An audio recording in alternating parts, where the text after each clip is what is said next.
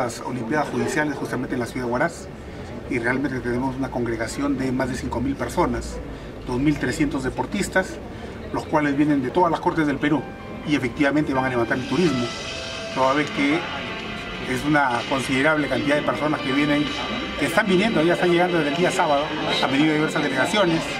El día sábado ya ha llegado la delegación de Piura, la delegación de Cajamarca y el día de domingo y lunes han seguido llegando de tal manera que esperamos la participación de 36 cortes de todo el Perú.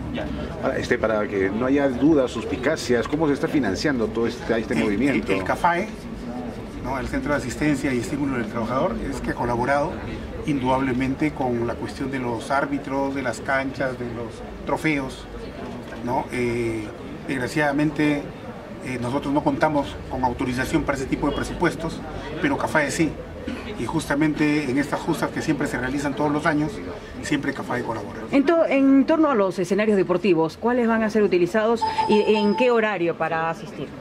Eh, bueno, los horarios eh, está en un programa, pero los, los, lugares donde se van a realizar estas justas va a ser en el estadio, va a ser eh, en la Videnita, principalmente, van a ser todos los partidos de fulbito en la Videnita, el Colegio de la Libertad, ¿no? El complejo de natación de la municipalidad.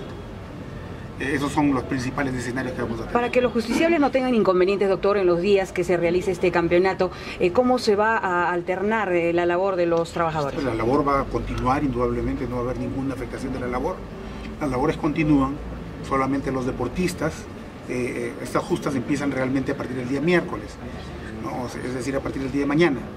A partir del día de, de mañana, a las 10 de la mañana, es eh, la inauguración y empiezan ya justamente los partidos en la tarde. ¿Cuántas disciplinas tenemos en el Poder Judicial de Áncash? Eh, acá contamos por lo menos como con 300 deportistas. ¿Cuántas disciplinas se van a, en este caso? Eh, está la disciplina de fulbito, fútbol, este, fulbito, hay fútbol master, fulbito máster, hay fulbito libre, hay fulbito mixto, hay fulbito de mujeres, eh, tenemos también atletismo, tenemos natación, tenemos ciclismo, tenemos básquetbol, tenemos voleibol. Eh, todas esas son las disciplinas que se van a llevar. ¿Su persona en qué disciplina deportiva va, a participar, doctor? En fútbol, futbolito máster. ¿Qué cantidad de trofeos hay, doctor?